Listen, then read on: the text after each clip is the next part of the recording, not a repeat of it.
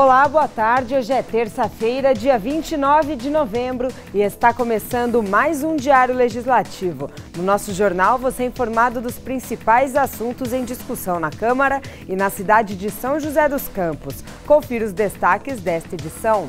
Projeto aprovado na Câmara destina recursos para programas ambientais. Proposta era reivindicação do Conselho do Meio Ambiente. Projeto que institui programa Vizinhança Solidária em São José é aprovado pela Câmara. Flashback em ritmo de festa. Evento Retroparque agora faz parte das comemorações oficiais da cidade. Você sabia que também pode propor projetos de lei aqui na Câmara? Saiba como na reportagem que preparamos para você. E no jornal de hoje, você também confere mais uma entrevista da nossa série especial com os vereadores sobre o balanço de mandato. Hoje é a vez da vereadora Dulce Rita. Seja muito bem-vindo, o Diário Legislativo está no ar.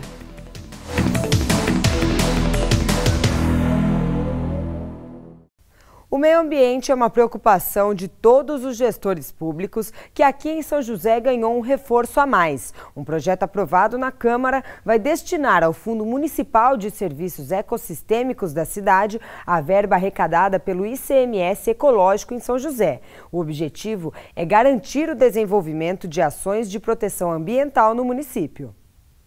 Com a aprovação do projeto de lei de autoria do vereador Carlinho Chaca, o valor arrecadado pelo ICMS Ecológico em São José dos Campos será destinado automaticamente para o Fundo Municipal de Serviços Ecossistêmicos. O objetivo da proposta é assegurar que a cota do imposto seja garantida para o desenvolvimento de projetos ambientais na cidade.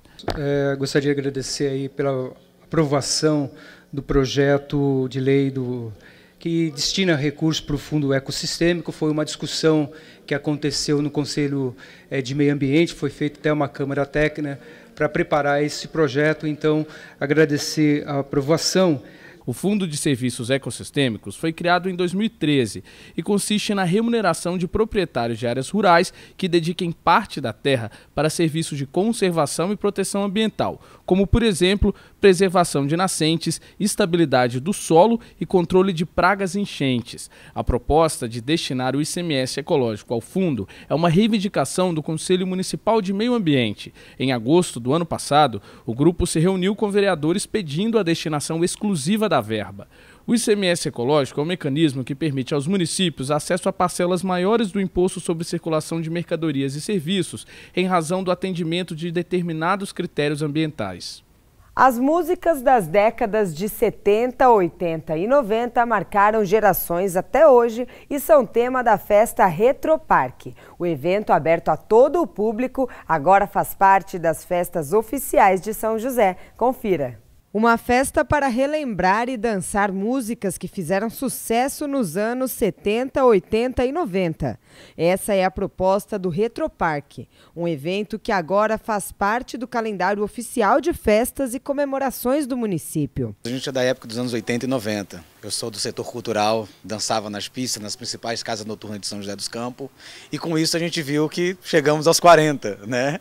E nada melhor do que a gente fazer uma festa para celebrar né, a, a nossa história na cidade, que praticamente dos anos 80 e 90 tinha umas 10 casas noturnas, que era todos os finais de semana, um grupo de jovens, dali se formou bailarinos, dali formou produtores cultural, e a gente fez a primeira festa reverenciando. A gente não esperava que ia ter uma aceitação tão grande. E a gente viu que essas pessoas têm hoje projeto para jovem e para idoso, mas nós que estamos na meia idade, nós precisamos de projeto e de gestão nessa área. Daí surgiu o projeto Retropark. A gente está fazendo uma vez por mês, uma festa completamente gratuita, orgânica, nós mesmos mesmo que tomamos a iniciativa, fazemos um coletivo, financiamos, pegamos recursos, alugamos palco, som e estamos desenvolvendo aí. E a prefeitura cede simplesmente os espaços. Né, que está aberto para a sociedade. Com entrada grátis, toda a família poderá participar. As festas serão realizadas em parques públicos. O projeto de lei da vereadora Amélia Naomi foi aprovado na Câmara por unanimidade. E é uma atividade gratuita, interessante, junto à família, né? Então, eu estou colocando no calendário para dar continuidade a esse espaço né, de lazer, de cultura, de música, de alegria aqui para São José dos Campos. E no próximo bloco, vereadora Dulce Rita faz balanço sobre o mandato aqui na Câmara. É a nossa entrevista especial de estúdio com os parlamentares. A gente volta já.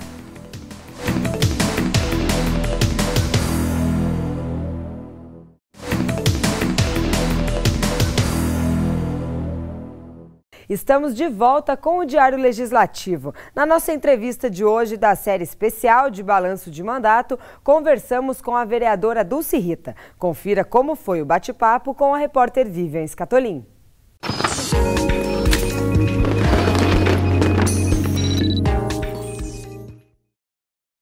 Olá, hoje o nosso bate-papo é com a vereadora Dulce Rita, que está concluindo o quarto mandato aqui na Câmara. Obrigada pela presença aqui no nosso estúdio, viu, vereadora? Eu que agradeço pela oportunidade. O que a gente pode destacar nesses últimos quatro anos, nesse mandato?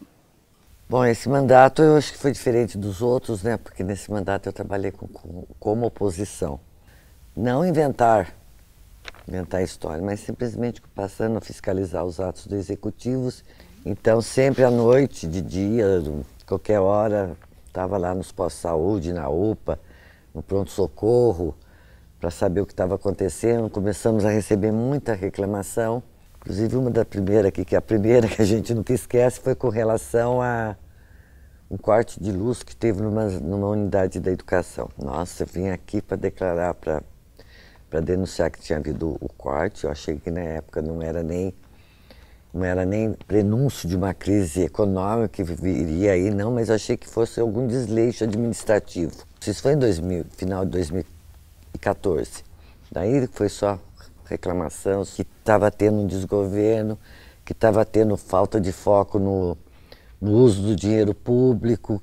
Outro prenúncio que nós vimos que estava acontecendo, que já ia ter muito problema, foi com relação ao kit escolar, que eu fui a primeira a ser chamada pelo pessoal das, das papelarias daqui da cidade com relação à licitação. Depois nós viemos, tivemos a denúncia do tablet, dos tablets que estavam é, veio a propaganda, né? gastou-se muito em propaganda, que é da escola interativa, a primeira da, do, da América Latina, que seria o melhor dos mundos na área da educação. Aí começou os pais alunos reclamando que os, que os tablets tinham sido distribuídos, que já estavam em manutenção, que estava demorando seis, sete meses para retornarem. Aí nós corremos através, atrás das denúncias do tablet. Ah, com certeza a saúde é uma das suas bandeiras, né? Tanto é que uma atuação relevante nesse período foi como relatora da comissão permanente. E falando de comissão permanente, também é, como presidente da comissão dos servidores públicos e do meio ambiente.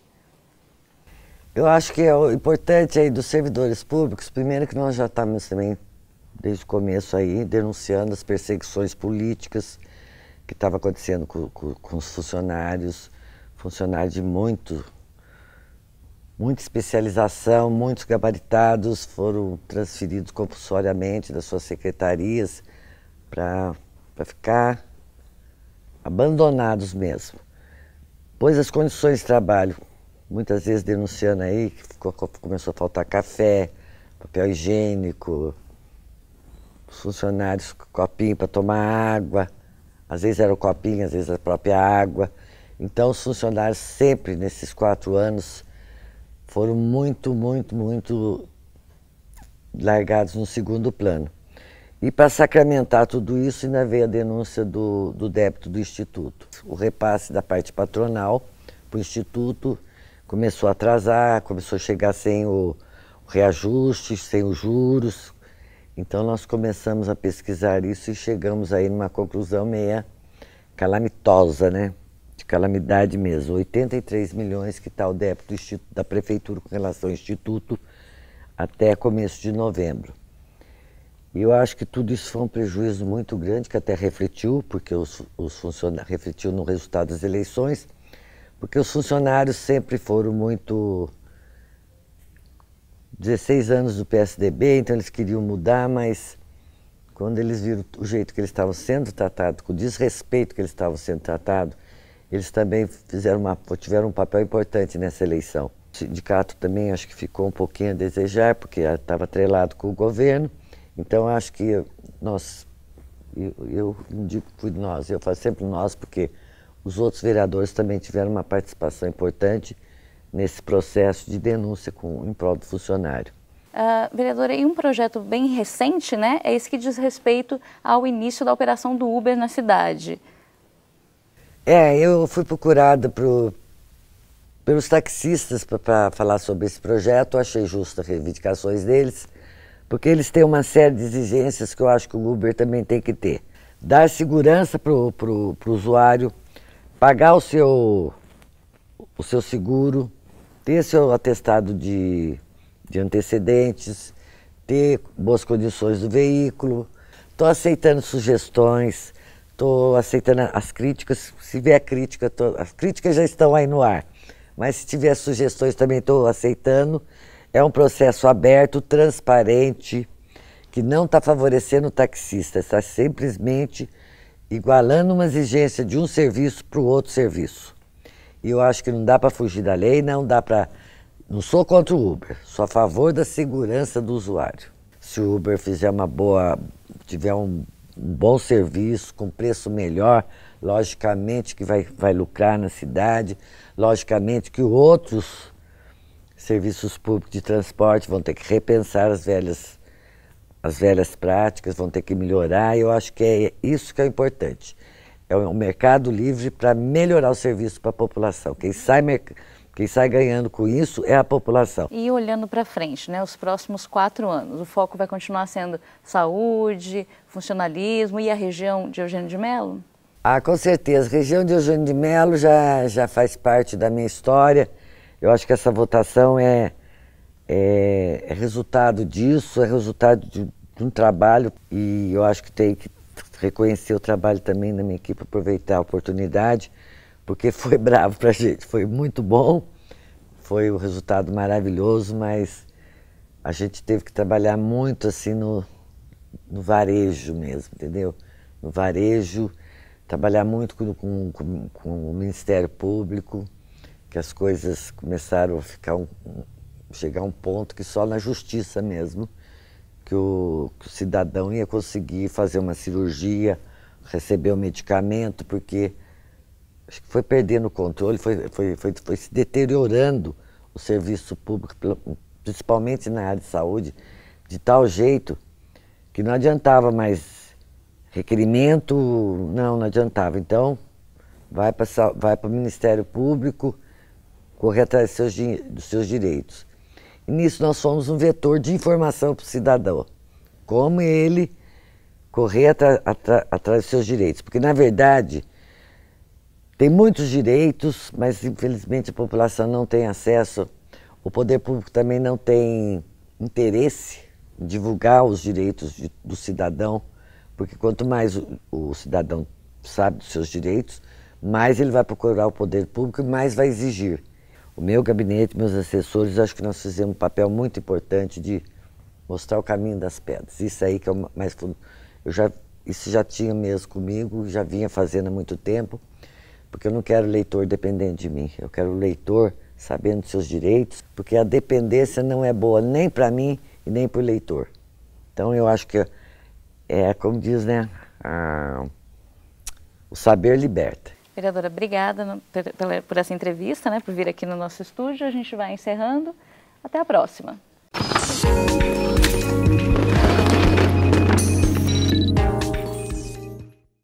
E você está em busca de emprego aqui em São José? Então confira as vagas de emprego disponíveis no PAT. É a nossa agenda de serviços.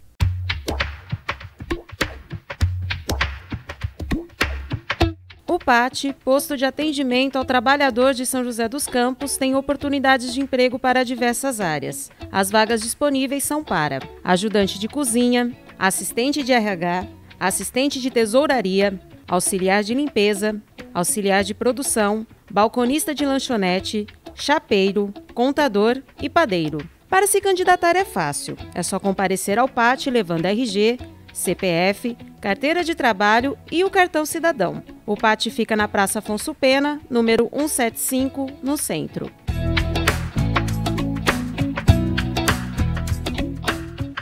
Nós vamos mostrar para você que não são só os vereadores e a prefeitura que podem propor projetos de lei. A população também pode participar. E ainda, conheça o programa Vizinhança Solidária, maneira de incentivar a segurança preventiva nos bairros de São José. É no próximo bloco.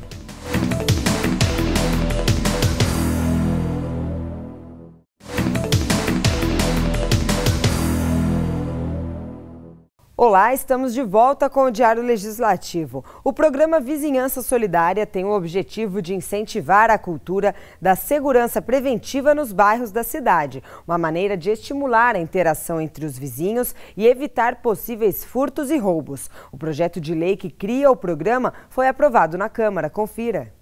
A fim de diminuir a violência nos bairros, a Câmara aprovou o projeto de lei que cria no município o programa Vizinhança Solidária. De autoria do vereador Fernando Petit, da Farmácia Comunitária, o projeto tem como objetivo incentivar a participação da população na segurança da cidade. A ideia é criar uma rede entre os vizinhos para prevenir furtos e roubos nas casas, de modo que a comunidade ajude a vigiar os arredores e acione a polícia quando algo suspeito for identificado. O programa será administrado em conjunto com o Conselho Comunitário de Segurança de cada região do município, pelas polícias militar e civil, por representantes das associações de moradores do bairro ou Sociedade Amigos do Bairro e pela Guarda Civil Municipal. Vamos agora saber como fica o tempo na tarde desta terça e também na quarta-feira. A tarde desta terça-feira permanece nublada com possibilidade de chuva a qualquer hora. A máxima chega aos 25 graus, mínima 22. Amanhã o céu continua encoberto, com chance de chuva em algumas áreas. A máxima alcança os 23 graus, mínima 16. Apresentar projetos de lei não é atividade exclusiva dos vereadores, não. Você sabia que qualquer cidadão pode propor projetos de lei? É o que chamamos de projetos de iniciativa popular, uma forma de estimular a participação da população nas decisões da cidade. E nós preparamos uma matéria para que você possa saber de que forma pode participar. Muitas das decisões do nosso dia a dia são fruto das discussões que acontecem na Câmara Municipal.